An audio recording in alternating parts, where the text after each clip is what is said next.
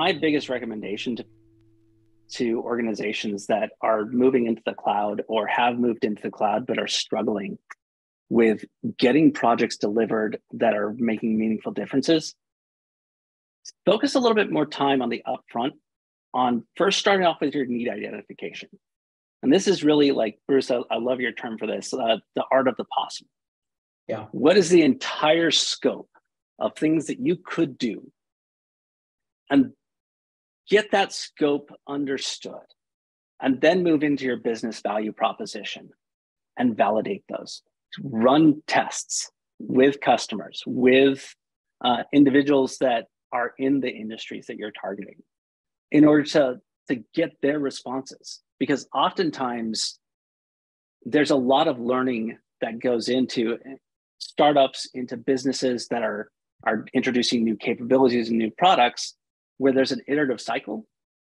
And if you can hit that in this early stage, by the time you get to production, you're not dealing with fire drills around, hey, by the way, we need these new five features so that we can sign this customer.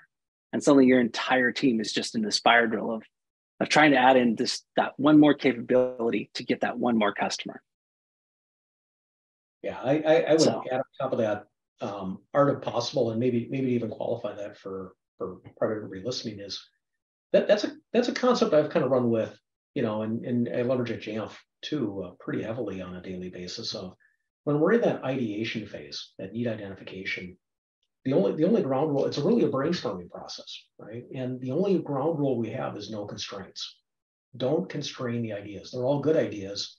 There's better ideas than other ideas, and let those come to, to the surface. And the one that kills the ideation process is you come in, and I've seen this many times, and, and we're, we're guilty of it just like anybody, where you come in with, well, here's all the things we can't do, and whatever's left is what we must do. And, and maybe that's a little bit of a Sherlock Holmes type of approach to problem solving, but it but you're almost you're limiting market potential or opportunity by constraining too much early on. Let the constraints come into play when you start talking about step two, step three, right? Project definition. Start to limit down the good idea is to let the best ideas come forward with constraint, right? But don't stop yeah. the ideation with constraints. And that's really the art of possible is like think big, think disruptive, think what you can do. Yep. Now let's ground it to what we really can do based upon the limited set of options that we have available to us, or or potentially technology constraints, you know, financial constraints, whatever they might be, right? Um, yeah. But don't well, that on one. Yeah. Yeah, and, and you know, going going with that, like so you're starting off with need identification. That is a big bucket, right? You get mm-hmm. into business value. And so now you're starting to eliminate things based off of what's going to drive our profitability, what's going to drive down our costs, what what is going to give us a competitive advantage in our market. And so to your point, Bruce, by the time you get to project definition, project definition is really a, a process of budgeting, more mm-hmm. or less. I have these people available they have these skill sets and I have them for this long. So, what from this business value can I hit up?